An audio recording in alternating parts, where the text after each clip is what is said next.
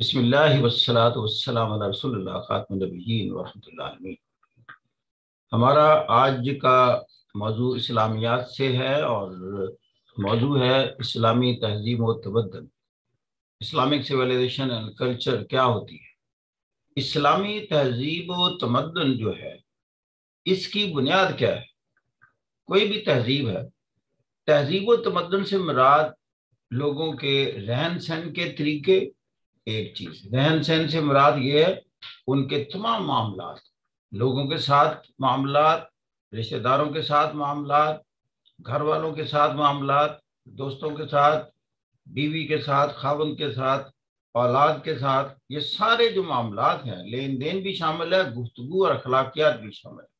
ये तहजीब तमदन का एक हिस्सा है। फिर आपकी तमाम कमर्शियल एक्टिविटीज़ प्रोफेशनल एक्टिविटीज़ ये भी शामिल है, ये तहजीब तमदन का हिस्सा फिर आपके नजरियात भी उसका एक हिस्सा है। आपकी जो फ़िक्र है, जैसे आप चीज़ों को सोचते हैं, जैसे आप फैसले करते हैं, और जो अकायद और ख्याल आपके फैसले को गवर्न करते हैं, उनको एक शक्ल देते हैं, वो ख्याल और अकायद क्या है? वो आपके बिलीव्स क्या हैं? जो कि आपके बिहेवियर पर मुंतज होते हैं। अब ये इस्लामी तहजीब जो तमदन जो है, ये आती कहाँ से है? इसकी ये शक्ल बनाई किसने? है इसको मुतशक्ल किसने किया? है क्या ये इंसानों की अपनी बनाई हुई है? जैसे कि वेस्ट की है। वेस्ट में इंसानों ने खुद से उसकी शक्ल बनाई है और उसको वजूद में लाए हैं। वो तो उनका एक जो रिलीजन बन गया है, जो अकीदा बन गया है जिसको हम बेहतर तौर पर कह सकते हैं, एक स्कूल ऑफ़ थॉट उनका है।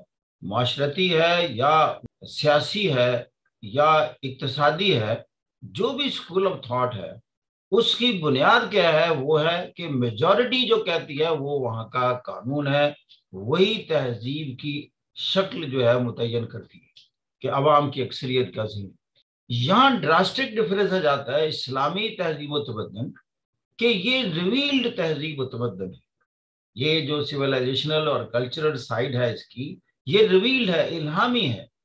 खाल के कायनात ने बताई है। इसलिए कि इस तहजीब का, इस रिलीजन का, इस तर्ज हयात का जो बुनियादी फलसफा है वो ये है कि इंसान की तख्लीक कार कौन है? अल्लाह की ज़ात। उसने तख्लीक करके छोड़ नहीं दिया। उसने ये भी कहा कि अब आपने ज़िंदगी के ये अयाम गुजारने कैसे हैं?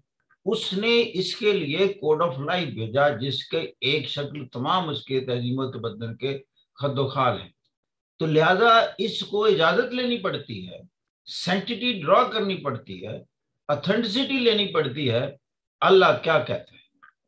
मिसाल के तौर पर मैं छोटी सी बातें बताता हूँ, आपको क्लियर हो जाएगा कि हम लिबास पहनते हैं। ये हमारी तहजीब का हिस्सा होता है लिबास वेस्ट का भी लिबास है। उनके भी अंदाज है लिबास पहनने के। लेकिन इस्लामिक लिबास में भी एक खास हदायत, आसमानों से हदायत क्या आई? है कि नबी आपसे पूछते हैं कि लिबास कैसा हो? अब देखो, अल्लाह ताला ने रंग की बात नहीं करनी, ना उसने बैन और कॉलर की बात करनी। ये है इलाही अंदाज। अल्लाह फरमाते हैं कि देखें, लिबास आपकी सतर पोशी करे। देखो, बुनियादी बात बता दी।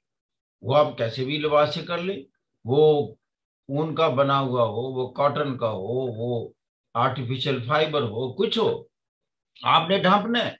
नंबर दो, आपको सर्दी गर्मी से बचाए। अब अल्लाह के असूल देखें और नंबर तीन, आप पर जीनत का सबब हो। आपको अच्छा लगे, खूबसूरत लगे। क्योंकि आप ही ने अपना लिबास नहीं देखना मुआशरे ने भी देखना।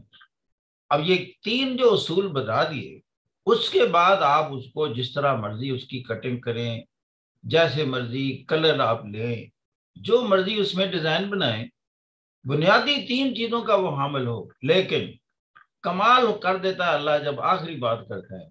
लेकिन याद रखिए, सबसे अच्छा लिबास तकवे का लिबास कि अब ये लिबास तो पहन लिए। ना अखलाक ठीक हुए, ना किरदार ठीक हुए, ना लोग आपकी दस्त बुर्द से बचे तो ये लिबास आपको नहीं बचा पाए तो सबसे अच्छा लिबास तकवे का लिबास है। मैं कहता हूँ, सारी कायनात में सारी वेस्ट की किताबें उठा ले। लिबास की इतनी खूबसूरत तारीफ़ कहीं नहीं आपको मिलेगी। मैं तो कुरान मजीद के जब ये सफात पढ़ता हूँ, मैं तो एक एक आयत पर मेरा सजदा करने को जी चाहता है खाल कायनात को, जितनी वो खूबसूरत चीज़ है।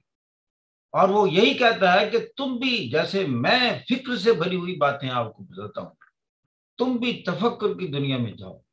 तो गोया कि इस्लामी तहजीब को मैं दो हिस्सों में तकसीम करता हूँ। एक तो फ़िज़िकल साइड है उसकी, जैसे आपने लिबास पहना। ये चीज़ें खानी है, ये चीज़ें नहीं खानी। ये बात करनी है, ये बात नहीं करनी। ये मामला में आपका कम ना तोलना भी इस्लामी तहजीब व तमदन का शाखसन है। आपका गीबत ना करना भी ये तहजीब व तमदन का हिस्सा है। झूठ से एराज बरतना। लोगों को माल उनका हथियाना तो दूर की बात उन पर खर्च करना, अपनी नज़र में शर्म हया रखना और लोगों की इज्जतों की हिफाजत करना, पामाल करना तो दूर की बात, ये इस्लामी तहजीब तमदन के अंदाज है। एक इस्लामी तहजीब तमदन की स्पिरिचुअल साइड है और स्पिरिचुअल साइड में फ़िक्र है क्योंकि इस्लामी तहजीब तमदन आपके अमाल कोई कोई दे, नहीं देख रही होती। वो देखती है सोचने के धारे क्या है? किस पैराडाइम में आज ज़िंदगी गुजार रहे हैं? इस्लामी तहजीब तमदन का जो फर्द होता है वो अल्लाह के अंदाज से सोचता है। वो हजूर वसल्लम की ज़िंदगी से मिसालें और आपके अंदाज से सोचता है। उसकी सोच भी आज़ाद नहीं है। वो भी मुकैद है पाबंद है गवर्न की जाती है, अल्लाह और रसूल की सोच के साथ लिंकअप करना पड़ता है। और उस सोच में क्या है? उसमें दूसरों के लिए भलाई ही भलाई है। उस माशरे में फसाद, खुरेजी और इस्तेसाल नाम की चीज़ें खत्म हो जाती हैं। लेकिन इसके बरक्स, जहाँ खाल के कायनात का तस्वर नहीं होगा, या माशरती कवानीन में वो सख्ती नहीं होगी तो फिर आप देखेंगे कि वहाँ लूट खसूट फसाद, बेचैनी अदम इतमान इससे जो माशरा है, वो दो चार होगा क्योंकि अल्टीमेटली जो अल्लाह कहता है कि इंसान की ज़िंदगी का मकसूद इतमान कल भी होता है। लेकिन हम जो कुछ भी इसबाब इकट्ठे करते हैं, उसके बाद हम एक जहनी सुकून की कैफियत में जाना चाहते हैं। दुनिया की आसाइशात इकट्ठी कर रहे हैं, ज़रूरियात ज़िंदगी इकट्ठी कर रहे हैं। तो मकसद ये है कि हमारी जब ज़रूरियात सेटिस्फाई होंगी, हम कंफर्टेबल होंगे इतमान की कैफियत में जाएँगे। तो वो एक नुकता पेश करता है। अला ज़िक्र कि ये दिलों का इतमान आप दुनिया में बाकी सारी चीज़ें इकट्ठी कर लें। लेकिन अगर आप अल्लाह की ज़ात से लिंकअप नहीं होते, अपनी सोचों को अल्लाह की सोच में नहीं डालते, रसूल सल्लल्लाहु अलैहि वसल्लम की सोच में नहीं डालते तो आप नफ्स के ताबे और नफ्स आपको शराब में ले जाएगा, आगे से आगे आगे से आगे थका देगा। लेकिन आपकी ख्वाहिशात कभी पूरी होने को नहीं आएँगी। इसीलिए जिन पर दुनिया गालब है, नफ्स गालब है, वो दौलत की कितनी भी मिकदार हो, वो सुकून कल्ब से आशना नहीं होते। इतमान कल्ब से वो फैज याब नहीं होते।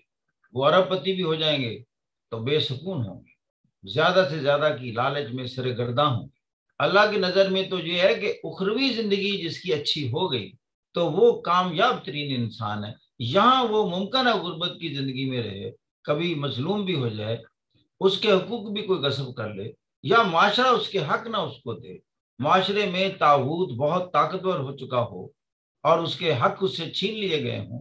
अल्लाह कहता है, ये तो आर्जी ज़िंदगी है, लेकिन जो कभी ना खत्म होने वाली ज़िंदगी में देखेंगे कि मैं कितना उसको इनाम अता करता हूँ और दूसरे शख्स को जिसने इसे परेशान किया, मैं कितना रुसवा करता हूँ, वो ज़िंदगी की ये गेम हार गए, शिकस्त खा गए। इसलिए कि कभी ना जो खत्म होने वाली ज़िंदगी है, वो अपने लिए तबाह बर्बाद कर लिया।